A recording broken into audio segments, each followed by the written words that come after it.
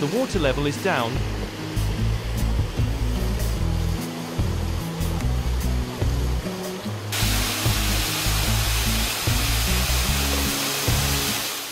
The waterfall is now nearly a trickle. We are into early winter. And Golden Hill Road is packed even on weekdays nowadays.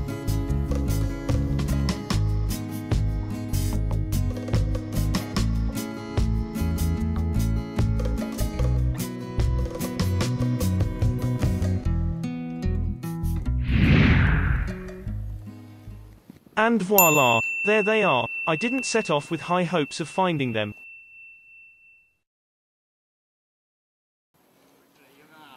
The sight of them has already got me beaming from ear to ear.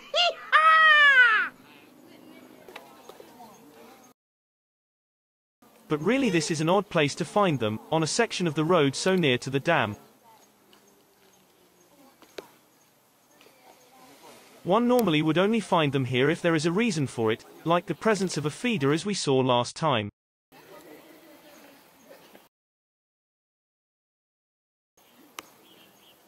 And if it's the case here, one should have seen more or less the entire gang, not that very few of them, and they don't look like they have already seen much goodies either.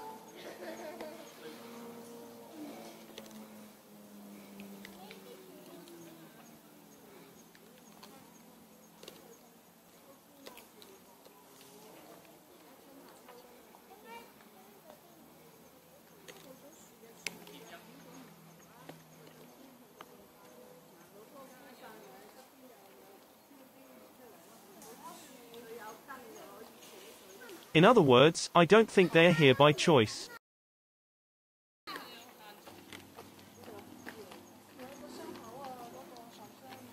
A few more have just turned up. It looks as though they are just regrouping here. The ones we saw just now indeed haven't been here for long, including Grandee.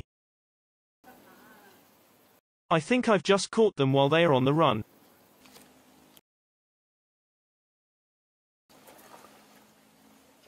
And that wound we saw last time seems to have got worse.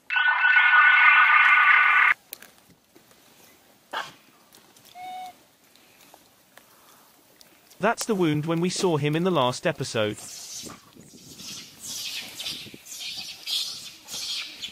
It looked pretty dry and was on the mend then.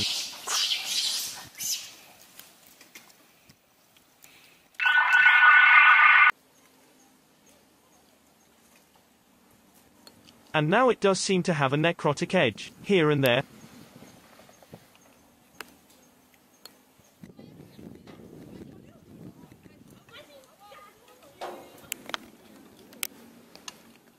And it seems to be oozing too.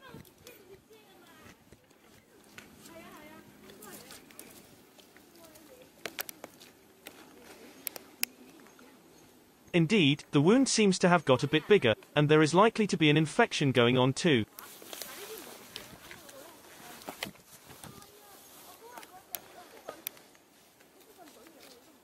Now I can see that some of the tissue is devitalized. But the good news is that the underlying tissue has a healthy pink base, and is granulating healthily. This should heal, but it's been delayed by being pried open again. I don't mean by Bree. I think it's been reopened again, probably in a scuffle.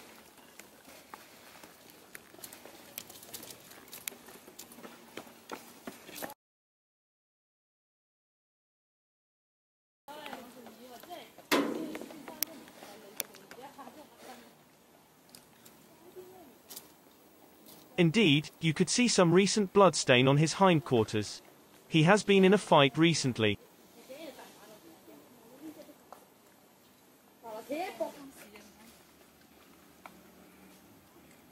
In humans we would debride the necrotic tissue, and clean the wound out with saline or betadine. Of course they don't have resort to the kind of wound care we have, but what Bree is doing serves the same purposes. Scrapping away the slough, and applying their version of antiseptics, their saliva.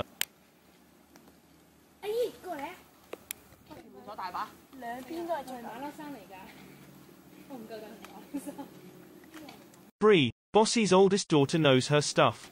She must have dealt with similar wound many times before. In the wild they do get wounded from time to time.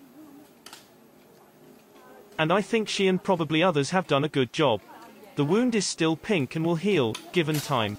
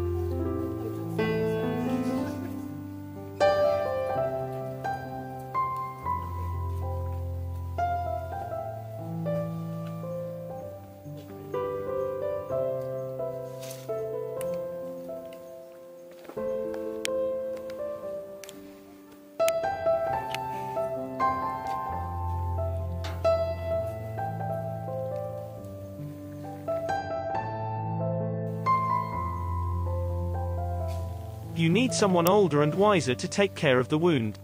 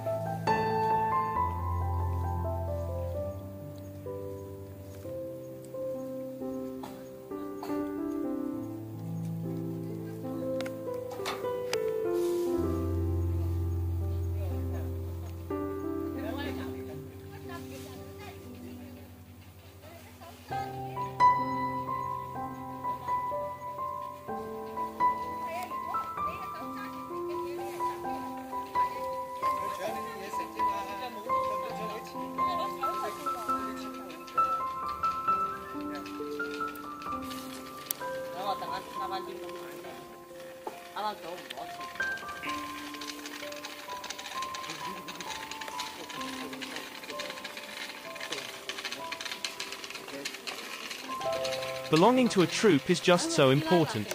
And it's worth the shitty monkey politics.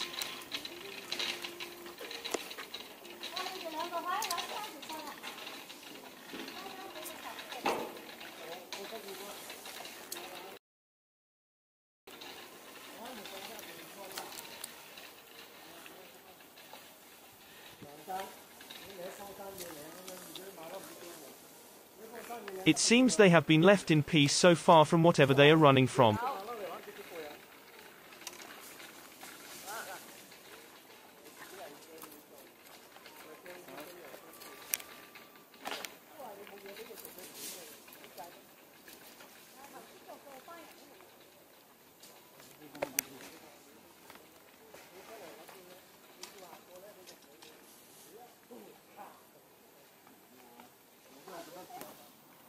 Indeed, Grandi has been in a conflict recently. There are new wounds on his right arm too. Those look shallower, but they have the same hallmarks of bite wounds as the one on his left arm.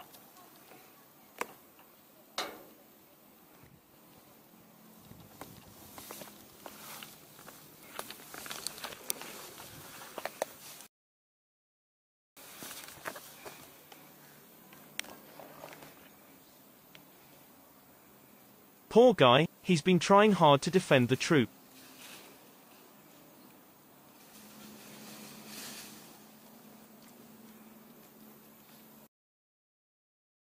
So it's now Bossy's turn to tend the wound of her man. Father to her kids, Bubby and Boppy.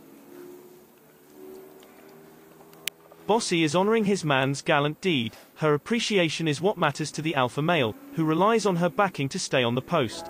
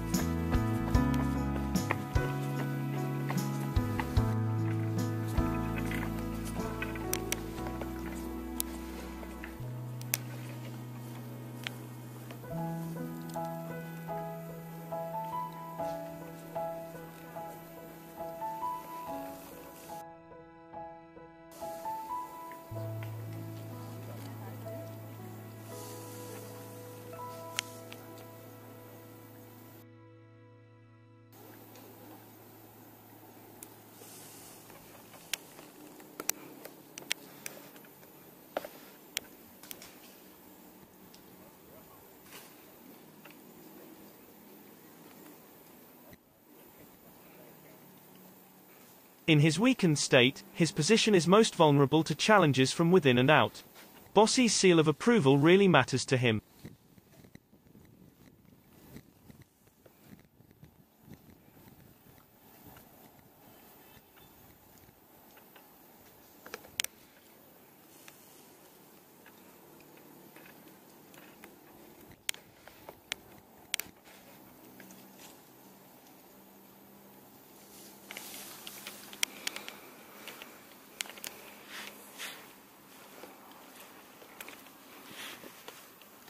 Bossy is doing exactly the same thing as her daughter.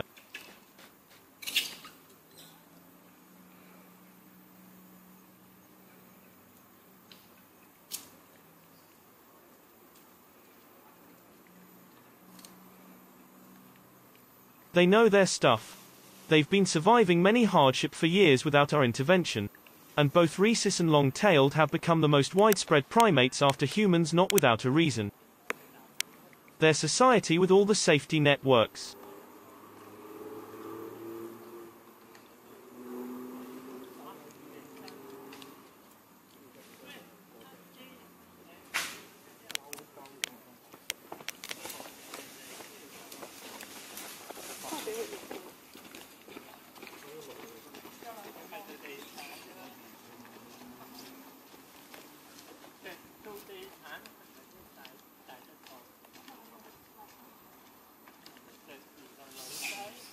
You can tell they know the difference between healthy tissue and slough.